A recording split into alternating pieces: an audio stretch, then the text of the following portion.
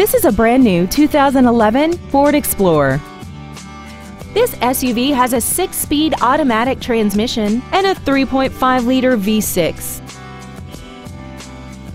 Its top features include air conditioning, 12 strategically positioned speakers, big 20-inch wheels, roof rails, traction control and stability control systems, external temperature display, and power adjustable gas and brake pedals enable you to change their height and distance to fit your body rather than you fit to their positions.